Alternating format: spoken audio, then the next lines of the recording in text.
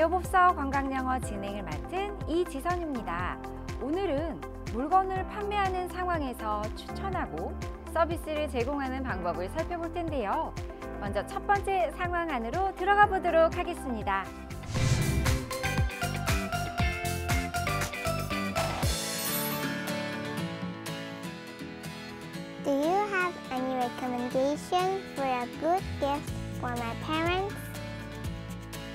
What do they enjoy?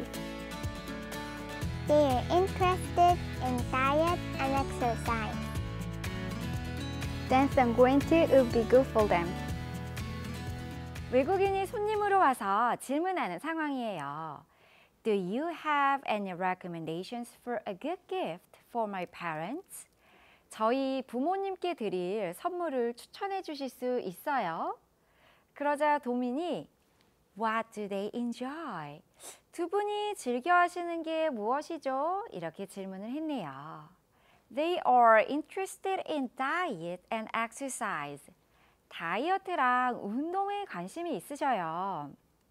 Then some green tea would be good for them. 그러면 그분들께는 녹차가 좋을 것 같아요. 대화 속에 쓰여 있었던 키 패턴 한번 살펴볼까요? Do you have any recommendations for a good gift for my parents? Do you have any recommendations for 명사? 이런 구문이 들어있어요. 즉 명사를 위한 추천이 있나요? 명사를 위해서 추천해 주실 수 있어요? 하는 상황인데 음, 본문에서는 이 명사 자리, 자리에 부모님, my parents라는 구문이 쓰여 있었습니다. 그래서 저희 부모님께 드릴 선물 추천해 주실 수 있어요? Do you have any recommendations for a good gift for my parents? 이렇게 문장을 만들어 보았습니다. Then some green tea would be good for them. 어, 명사 would be good for 명사. 첫 번째 명사는 아이템이 될 것 같고 어, 그 다음에 마지막 부분에 나왔던 명사에는 사람이 쓰여 있는 그런 구문이었어요. 그래서 이 명사를 위해서는 명사가 좋을 것 같아요. 본문에서는 첫 번째 명사 자리에 some green tea 하고 녹차라는 명사를 썼고요. 두 번째 명사 부분에는 for them 해서 그분들께는 그들에게는 이라는 구문을 만드는데 사용했습니다. 그래서 그러면 그분들께는 녹차가 좋을 것 같아요. 이렇게 추천하는 상황에서 Then some green tea would be good for them. 이렇게 도민이 대답하는 상황이었습니다. 키 패턴 응용 연습 한번 해볼게요. 건조한 피부를 위한 추천 있으세요? 이렇게 한번 어, 관광객이 질문을 하는 상황을 만들어 볼게요. 어, 그러면 추천이라는 단어 기억나세요? recommendation 이라는 단어가 쓰여 있었는데 어, 건조한 피부는 영어로 dry skin 하시면 돼요. 그래서 건조한 피부를 위한 추천 있으세요? Do you have any recommendations for 뒤쪽에 건조한 피부라는 dry skin을 넣으셔서 Do you have any recommendations for dry skin? 하시면 되겠습니다. 이번에는 두 번째 상황 안으로 들어가 보도록 하실게요.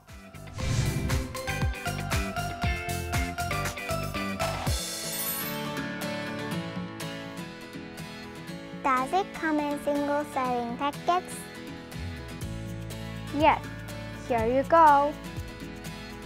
I'm going to take four boxes. Great.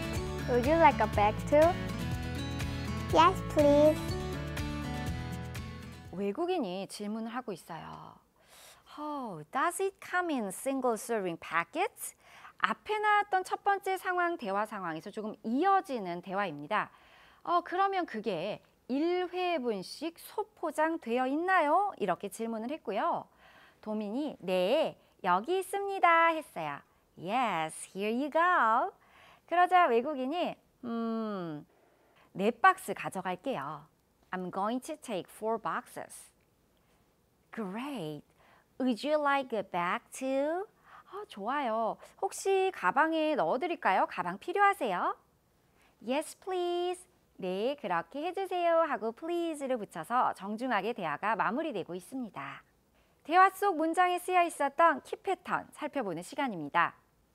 Does it come in single serving packets? Does it come in? 그것이 come in 어떤 형태로 나오나요? 하고 질문하는 상황이에요. 명사 부분에 그 어떤 형태를 넣어주시면 돼요. 우리 본문에서는 형태 부분에 in single serving packets 1회분씩 소포장이라는 그런 구문이 사용되어 있으면서 아, 혹시 그게 1회분씩 포장이 되어 있어요? 하고 질문하실 때 Does it come in single serving packets? 이렇게 외국인이 질문하는 상황에서 쓰였습니다. I'm going to take four boxes. I am going to 플러스 동사 표현이 쓰여 있는데 I am going to 라는 구문은 저는 무엇 무엇을 할 예정입니다 하실 때 사용하실 수 있는 구문이에요. 뒤쪽에 원하시는 동사를 넣으시면 되는데 본문에서는 가지고 가다 또는 취하다라는 뜻의 take라는 동사가 쓰였습니다. 그래서 외국인이 네 박스를 가져간다. take four boxes라는 구문을 이용해서 I'm going to take four boxes 이렇게 대화를 하는 상황이었습니다. 본문에 나왔던 키 패턴 응용 연습 한번 해볼게요.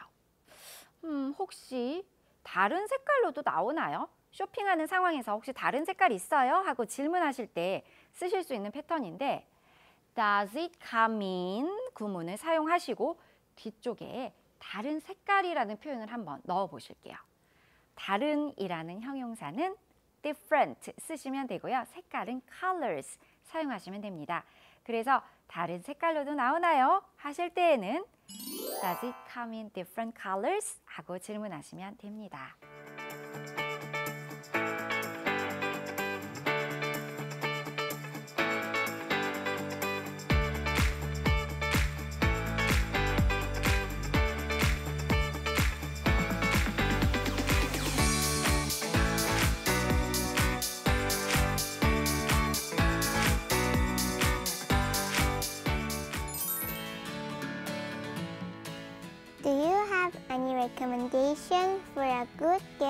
For my parents? Do you have any recommendations for a good gift for my parents? What do they enjoy? What do they enjoy? They are interested in diet and exercise. They're interested in diet and exercise. Then some green tea would be good for them. Then some green tea would be good for them.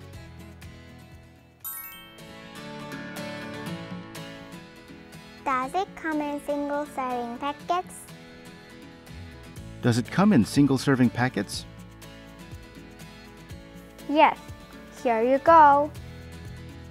Yes, here you go. I'm going to take four boxes. I'm going to take four boxes.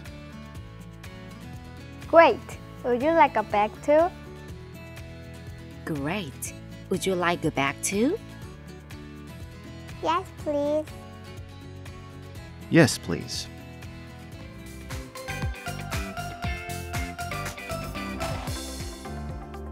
저는 다음 이 시간에 함께 하도록 하겠습니다. 감사합니다. 바이.